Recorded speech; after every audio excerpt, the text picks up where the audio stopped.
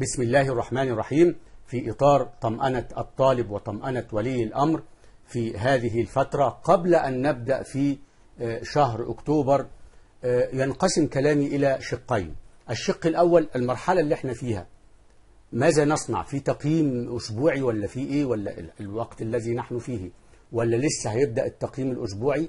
ده سأجيب عنه الآن. الشق الثاني هو كيفية الوصول إلى منصة التعليم الإلكتروني والوصول إلى أن أحصل على الأداءات الصفية الأداءات المنزلية التقييم الأسبوعي من المنصة الرسمية لموقع وزارة التربية والتعليم. يبقى الكلام إلى شقين. الشق الأول بعض أولياء الأمور محتارين. إحنا فين؟ طب التقييم الأسبوعي هيبدأ إمتى؟ ما خلاص كده الأسبوع خلص. طب هنعمل إيه؟ طب نأتي منين؟ طب بندخل إزاي؟ طب في نزلت في مواد وما نزلتش في مواد. أقول لحضراتكم إحنا الآن لغاية يوم 28 تسعة إحنا في شيء اسمه التقييم التشخيصي. يعني المعلم بيقيم الطالب تقييما تشخيصيا. يعني إيه التقييم التشخيصي؟ ضربها لنا مثال في مندوب وزارة التربية والتعليم وهو يشرح في الفيديو كونفرنس. فبيقول إيه؟ لو طبيب دخل العيادة بتاعته وجد 100 مريض هل بينظر لهم كده ويكشف عليهم كده من نظرة واحدة ويقول كلكم تاخدوا مثلا مضاد حيوي؟ لا طبعا. ده غير منطقي وغير صحيح. أمال بيعمل إيه؟ كل واحد بيدخل له ويكشف عليه ويحدد العلاج بناء على الحالة اللي هو فيها. واحد صحيح يقول له خلاص أنت ما فيش علاج اتفضل أنت زي الفل. طيب الطالب كذلك المدرس بيدخل الفترة دي الفترة بتاعت شهر تسعة دي لغاية الأسبوع لغاية بداية شهر أكتوبر دي اسمها تقييم تشخيصي. تقييم تشخيصي. يعني إيه تقييم تشخيصي؟ يعني المعلم بيدخل للطالب بيكتب تدريب بيكتب قطعة بيعطي جزء من ال من ال الأسئلة في القواعد في الإملاء في كذا في كذا. بيخلي الطالب يمارس المهارات الأربع الكتابة القراءة الاستماع التحدث كل ده. والمدرس عينه على الطالب. يشوف مين الطالب الضعيف في الإملاء. مين الطالب المتميز في النحو مين الطالب اللي لا يستطيع القراءة الجيدة ومين الطالب الممتاز اللي عايز يعليه أكتر في أنشطة إثرائية أعلى وأعلى. يبقى إذا المعلم بيقيم الطالب طالب زي الفل لازم يعلم من مستواه طالب ضعيف في مجال يبقى بيضع له برنامج علاجي لعلاج هذا الطالب ويقسمهم لفئات عشان يكون سهل عليه. ده المرحلة دي إذا عشان لا تقلق يا ولي الأمر. المرحلة دي مرحلة إيه؟ التقييم التشخيصي. معلم بيقيم الطلاب عشان يعرف الضعيف والقوي والمتميز والمتوسط وهكذا. طيب إمتى بنبدأ في الشغل الفعلي اللي على منصة وزارة التربية والتعليم؟ بداية من الأسبوع الأول من شهر أكتوبر.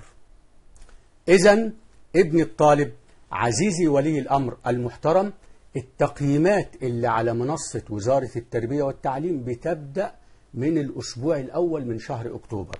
طب قد يقول قائل طب أنا أوصل لها إزاي؟ أنا مش عارف. طب ابني مش عارف. طب إحنا ما تعرفونا نوصل إزاي؟ خلاص. أنا هشرح الآن طريقة الوصول إلى التقييمات الأداءات الصفية الأداءات المنزلية التقييمات الأسبوعية. على المنصة الإلكترونية على بوابة التعليم الإلكتروني على الموقع الرسمي لوزارة التربية والتعليم.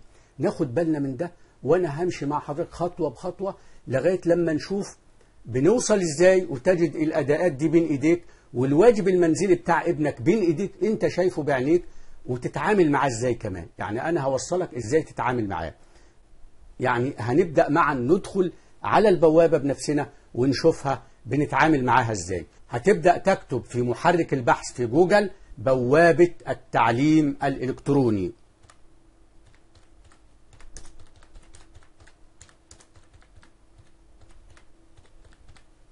تمام؟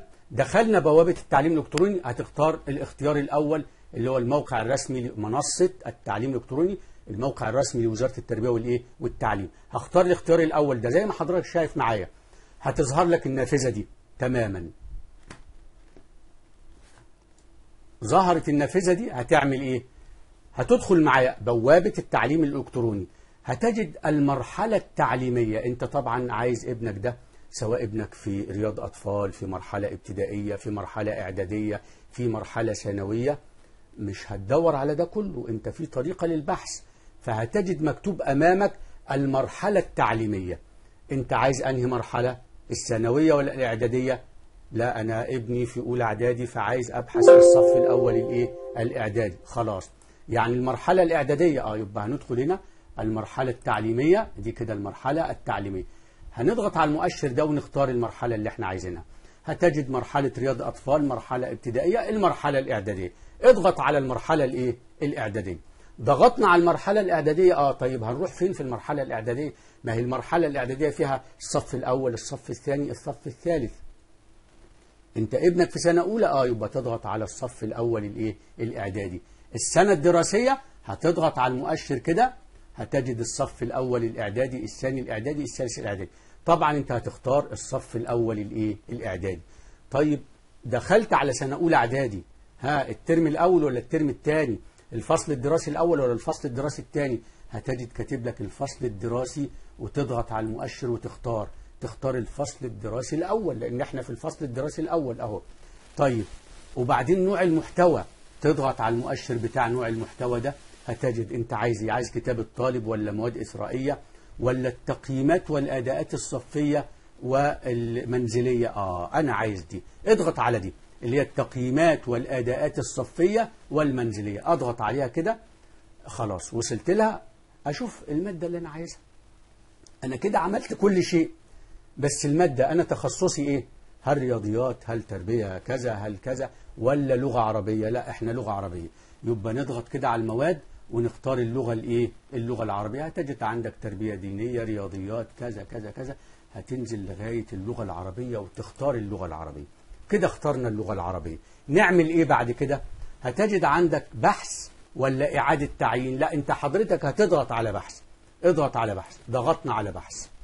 ظهر عندك اللغة العربية الأسبوع الأول التقييم الأسبوعي التقييمات والأداءات الصفية والمنزلية. فين؟ كده الصفحة خلصت ما فيش شيء. لا لا استنى لاحظ عندي إن في تحميل الملف وفي استعراض الملف. حضرتك هتضغط على تحميل الإيه؟ الملف. ضغطت على تحميل الملف أهو.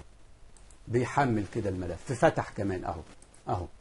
فتح. لأن أنا محمله قبل ذلك. هتجد إيه؟ هتجد عندك آه وزارة التربية والتعليم مكتب مستشار اللغة العربية برعاية معالي وزير التربية والتعليم السيد الأستاذ محمد عبد اللطيف. معايا؟ وتوجيهات رئيس الإدارة المركزية لتطوير المناهج فلان وفلان وفلان وفلان إلى أن تصل إلى إشراف العلمي مستشار اللغة العربية الأستاذة سلوى عبد الله. أمين. ثم تبدأ. أنا مش هبدأ لك من التقييم الأسبوعي لا أنا هبدأ لك من تحت من التقييم الصفي لأن ده الترتيب اللي حضرة المدرس هيشتغل بيه. بص معايا. أهو. بص معايا كده. ده الأداء الصفي. انت بعد ما شرحت مثلا مثلا هتشرح أول شيء نص الاستماع بتاع فجر الحضارة آه اللي هي المقدمة بتاعت سيم حسن. انت شرحتها وخلصتها هتعمل الأداء ده عليها الأداء الصفي ده عليها على السبورة أمام الأولاد بعد ما تخلص الدرس. المستهدف إيه؟ المستهدف معاني المفردات. لدرس إيه؟ لدرس فجر الحضارة. طب الاستراتيجية بتاعتك يا سيادة المعلم إيه؟ العمل في مجموعات. طب الزمن اللي هتديه للأولاد عشان يعملوا في مجموعات كام؟ عمل في مجموعات يعني هتقسم الفصل أربع مجموعات ثلاث مجموعات زي ما تكون زي ما مناسب ليك. وتعطيهم ميقات زمني كام؟ عشر دقائق. الوزارة مديالك عشر دقائق أهو. طيب هسألهم في إيه ولا هعمل إيه أهو؟ بيقول لك أدخل الكلمات التالية في جمل توضح معناها. طبعا الكلمات دي من درس فجر الإيه؟ الحضارة اللي هو نص الاستماع. طيب اطلاع استنباط طراز إلى 13 كلمة عندك أهو. المطلوب منها إيه؟ توزع الكلمات على المجموعات. طب واعمل إيه؟ بتدخلها في جمل تو... الطالب بيدخلها في جمل توضح معناها. وبعد ما كل الطلبة بيخلصوا بعد العشر دقائق ما ينتهوا بتعمل إيه؟ بيقوم واحد ممثل المجموعة ألف. أو ممكن تسميها مثلا مجموعة أبو بكر الصديق. المجموعة الثانية سميها مجموعة مثلا مصطفى كامل. المجموعة الثالثة سميها مجموعة سليم حسن. وهكذا. اعمل كده أسماء للمجموعات وخلي في نشاط بين الأولاد. بعد الانتهاء من الزمن المحدد يقوم ممثل المجموعة مثلا. ممثل مجموعة سليم حسن يقوم فيعرض الإجابات. يقول الكلمة الأولى كلمة اطلاع إحنا وضعناها في جملة توضح معناها ومن خلال الجملة معنى الكلمة دي كذا. ده بيتكلم عن مجموعته كلها. وأنت بتقيم وتشوف مين الأفضل وتعمل تنافس وتعمل جو بين الأولاد. لو الطالب كان متشوق للحصة والحصة كانت لذيذة والطالب مش عايز يخرج ويمشي عايز يستنى معاك انت ناجح في الحصة بتاعتك بنسبة 100% لو الطالب شاعر بالضيق واه إمتى هنخلص؟ وعايز يمشي اعرف انك انت ما وصلتش للإيه؟ للمرجو من الأداء المطلوب بتاعك يعني. فده انت الترمومتر معاك في إيدك وانت واقف في الفصل. طيب يبقى ده بالنسبة للأداءات الصفية ده في الأسبوع الأول هو أداء وممكن تعمل أهو نمرة واحد ده أداء يكمل حصة كاملة لوحدها. طب نمرة اتنين أهو ممكن تعمله في حصة تانية. المستهدف الهمزة المتطرفة مثلا تشتغل فيها زي ما هم مدينك. طب المستهدف الثالث ده ممكن يكون في حصة ثالثة المستهدف همزة الإيه؟ القطع وألف الوصلة هو الاستراتيجية بتاعتك هتعمل إيه والزمن عشر دقائق أيضا وتنفذ زي ما هم وأنت المخرج بتاع الحصة حضرتك يا مدرس المخرج بتاع الحصة هو سيادتك.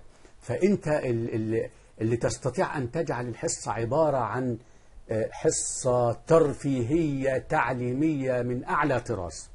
الأسبوع الثاني نفس الكلام أهو أيضا ده الأداء الصفي بتاع الأسبوع الثاني. نخلص الأداءات الصفية ونروح للإيه؟ للأداءات المنزلية اللي هو الواجب الإيه؟ المنزلي أهو. الأداءات الإيه؟ المنزلية. شهر أكتوبر الأسبوع الأول وبيبدأ لك على طول في الأسئلة. لو لم أكن مصريا لوددت أن أكون مصريا. ويسألك أذكر قائل العبارة طبعا ابنك. أول ما يشوف دي كده وهو معاك أو, أو في البيت ما هو ده واجب منزلي. يقول لك ده مصطفى كامل. قائل هذه العبارة لو لم أكن مصريا لوددت أن أكون مصريا. ده مصطفى كامل. أنت تلتفت له كده وتقول له الله. طب كمل إيه الشعور؟ وصف الشعور الذي انتابه ليقول ذلك. شعور مصطفى كامل إيه؟ كان إيه وهو بيقول ده؟ ابنك على طول هيجيب لك. كان شعوره بالفخر والاعتزاز بوطنه والانتماء لوطنه. كان معتز بوطنه ومنتمي لوطنه وهو بيقول هذه العبارة. طيب لم يتأخر الموظفون عن العمل. ابدأ بكلمة الموظفون عشان تحولها لجملة اسمية. ابنك هيعملها ويغير ما يلزم. ابحث مستخدما محرك البحث جوجل. هيديك سؤال اهو ويطلب من ابنك يبحث في جوجل وانت تخليه يبحث عن المترجم لكل كتاب من الكتب التالية. يعني هو مديك اسم كتاب ومديك المؤلف وطالب منك تبحث عن المترجم. يعني تاريخ دولة المماليك في مصر السير ويليام وير. طبعا ده إيه؟ ده المؤلف. هو عايزك تأتي بالمترجم. هتأتي أنت بالمترجم بعد بحثك هتجد المترجم يا محمود عبدين يا سليم حسن. الاثنين مترجمين لهذا الكتاب. هيكتبهم هنا. وبعدين صفحة من تاريخ محمد علي. المؤلف مكتوب لكن المترجم مش مكتوب. هيبحث ابنك ويأتي بالمترجم. هيجد أيضا سليم حسن. طب ديانة قدماء المصريين هيبحث عن المترجم. هيجد أيضا سليم حسن. الله. وبعدين يسألك تحت يقول لك ماذا تلاحظ؟ ها ابنك لاحظ إيه؟ إن اللي ترجم الثلاث كتب سليم إيه؟ سليم حسن. طب تلاحظ إيه من خلال إن سليم حسن مترجم الثلاث كتب؟ وكل الثلاث كتب تاريخية بيتكلموا عن التاريخ وتاريخ بلدنا. على طول ابنك يقول ألاحظ أن سليم حسن كان شغوفا بتاريخ بلاده وكان يبحث عن كل معلومة عن تاريخ بلاده ويترجمها لأبناء وطنه. خلاص دي ملاحظات أنت لاحظتها في الإيه؟ في إجابتك على السؤال ده. أنا حبيت بس أنور لك الطريق بتعمل إيه؟ عشان المسألة ما تكونش صعبة. اكتب لافتة تعبر بها السؤال الثالث اكتب لافتة تعبر بها عن احترامك لمصر وحبك. لا طبعا لافتة. بتكتب لافتة ومربع وابنك يكتب أي تعبير جملة يعني عبارة بيحب عبارة حب عن مصر. أحب بلادي مصر تنفع. تحيا مصر تنفع. أه طب افرض الولد بحث ما وجدش في دماغه أي شيء. خليه يكتب العبارة بتاعت مصطفى كامل دي في المربع بتاع اللافتة. لو لم أكن مصريا لوددت أن أكون مصريا خلاص اللافتة كده خلصت وأدائك زي الفل.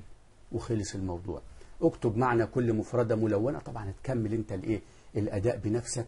و ده بالنسبة للأداء المنزلي. ده الأسبوع الأول الأسبوع الثاني أداء تاني أهو. الأسبوع الثاني ده أداء تاني شوف صغير إزاي. بس لذيذ وبيخلي الولد يشغل دماغه. وسهل مش صعب سهل خالص يعني. طيب دول قطعتين إملا أيضا هتستخدمهم الأسبوع الأول والأسبوع الثاني آه، بعد كده في التقييم الأسبوعي. التقييم الإيه؟ الأسبوعي. أدي التقييم الأسبوعي ده الأسبوع الأول أهو. اقرأ الف- ده من على موقع ال- البوابة الإلكترونية في موقع وزارة التربية والتعليم أهو. اقرأ الفقرة التالية ثم أجب عن الأسئلة بعدها. إن مصر بأرضها الغنية بتاريخها العريق إلى آخره. وبعدين بيقول لك السؤال ألف بما وصفت الفقرة أرض مصر؟ هتستخرجها من الفقرة. طيب السؤال نمرة ب بما وصفت الفقرة تاريخ مصر وثقافتها تستخرجها من الفقرة أيضا فيما يتجلى الضمير الإنساني كما فهمت من الإيه؟ من الفقرة. سهل جدا. وبعدين يديك إعراب كلمتين الكلمتين الملونين الملونين دول إن مصر يطلب إعراب مصر. وبعدين آه وقد نشأت على أرضها القيم الإنسانية. يطلب منك إعراب كلمة القيم. طبعا من خلال نطق ابنك عارف الإعراب. فاهمني؟ وبعدين تكتب لافتة تعبر فيها عن حبك واعتزازك بمصر نفس الكلام. ده ده, التقييم الأسبوعي يا أخوانا وبعدين اكتب ما يملى عليك قطعتين الإملاء عندك موجودين. معايا؟ يعني أو أو إملاء أخرى. يعني تقييم لذيذ والدنيا لذيذة. أنت المهم العنصر المخرج هو المعلم. مخرج العملية دي كلها هو المعلم. وده الأمور سهلة ولذيذة فلا ينقص إلا التناغم والانسجام بين المعلم وبين الطالب. هي دي اللي عايزين نحققها؟ لو وصلت خلاص المدرسة دي هيكون بستان. هتعتبر نفسك رايح الحديقة الدولية تم التناغم بين الطالب وبين المعلم بين المعلم وبين الطالب. وولي الأمر يطمئن. فده يكون الدنيا حلوة مع الكل مع الجميع. نسأل الله أن يطمئنكم على أبنائكم وأن يوفق زملائي الأساتذة المحترمين من المعلمين. وأن يبارك لنا جميعا في عامنا الدراسي. اللهم آمين. أقول قولي هذا وأستغفر الله لي ولكم. وآخر دعوانا أن الحمد لله رب العالمين. والسلام عليكم ورحمة الله وبركاته.